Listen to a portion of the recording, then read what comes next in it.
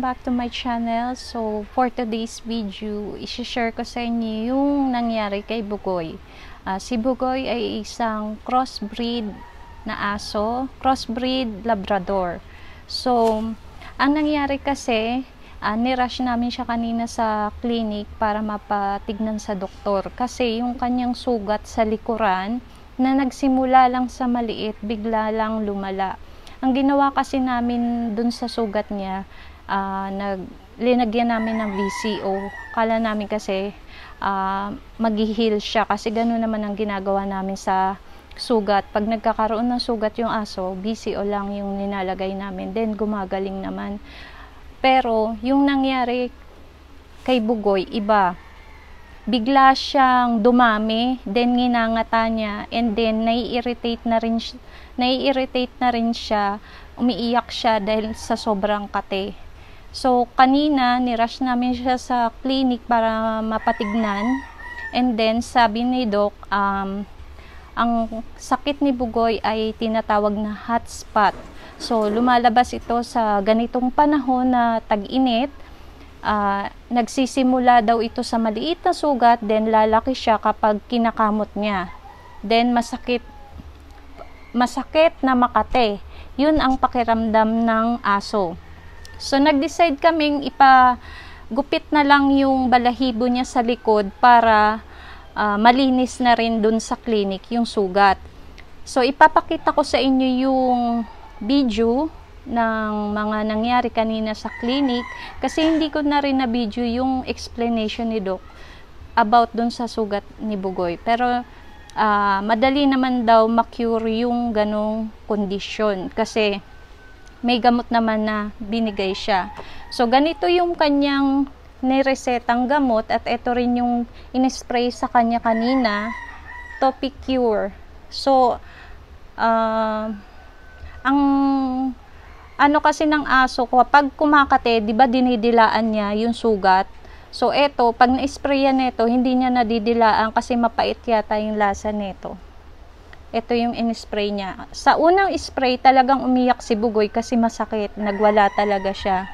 And then, niresa, din kami ni doktor ng shampoo at sabon. Kasi, pwede naman palang madigo yung aso kahit may ganong uh, sugat siya. So, kala ko hindi siya pwede paliguan kasi nga masakit yung sugat niya.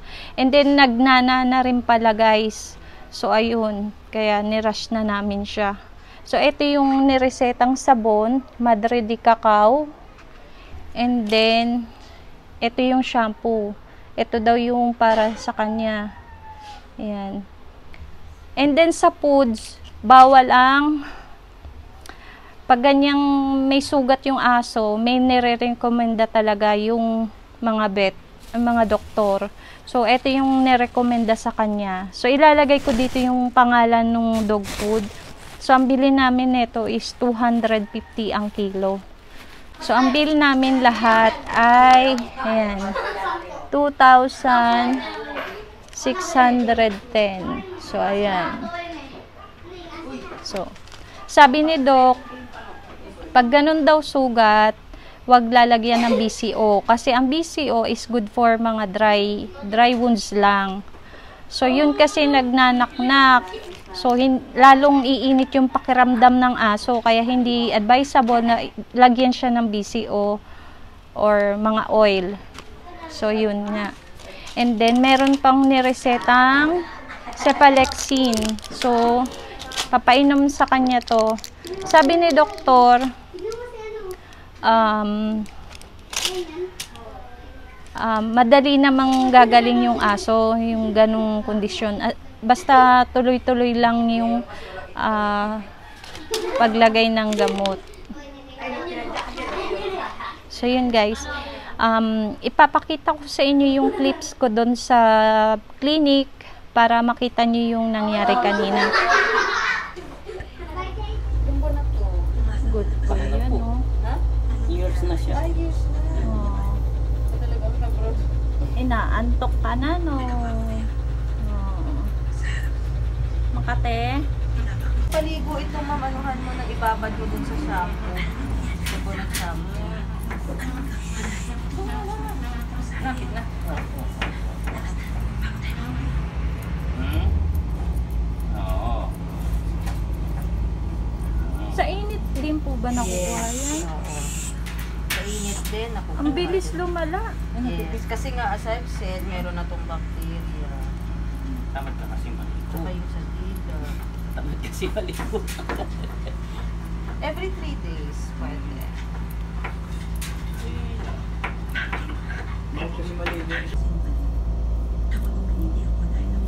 Tulog ka na na maayos niya. Tapos kalagyan na ng collar set. May collar pa kasi niya, ba? Sige, mamaya. Hanapan natin kung anong available. Kasi Magkakasya sa kanya. dinidilaan niya to. May dilaan niya to eh. Kakala to lalo. Leo, ba? Mabilis to. Okay. Hello po.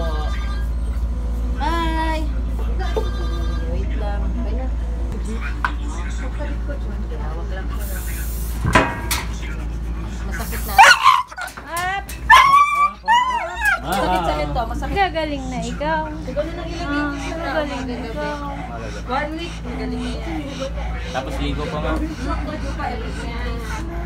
Ah, tuturukan ka ni Doc.